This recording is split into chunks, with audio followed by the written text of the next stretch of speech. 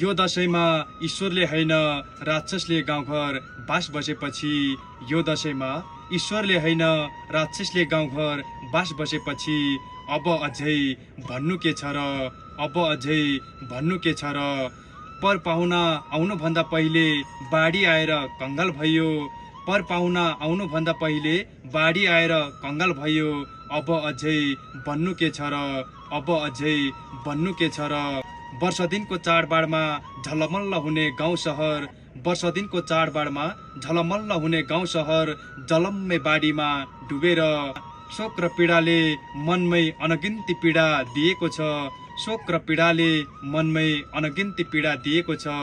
अब अझै गर्नु के छ र यो दसैँमा ईश्वरले होइन राक्षसले गाउँघर बास बसेपछि अब अझै भन्नु के छ र अब अझै भन्नु के छ र?